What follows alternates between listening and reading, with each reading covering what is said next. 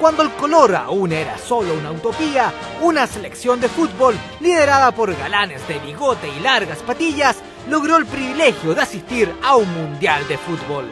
Tal era el entusiasmo que hasta la misma junta de gobierno se encargó de aleonar a los muchachos antes de la partida.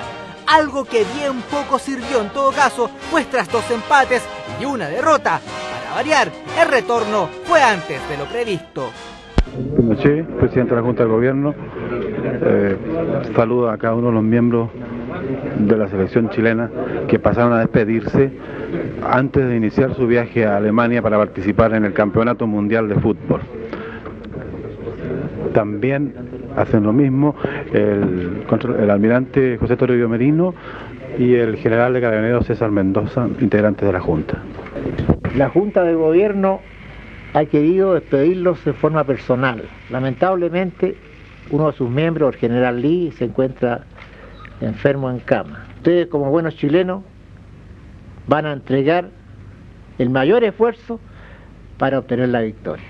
Y si no la llegan a obtener, sabemos que no lo hicieron porque no pudieron más. Chile sabe también los problemas que ustedes van a tener que afrontar en Europa, porque la calumnia y la mentira ha llegado a cambiar la mentalidad de muchos europeos que no saben ni conocen lo que efectivamente está sucediendo en Chile. Por eso estamos seguros que van a tener algunos problemas, pero también estamos seguros que ustedes como buenos chilenos lo van a saber afrontar y van a saber salir adelante. Les deseamos buena suerte y les deseamos éxito. Muchas gracias.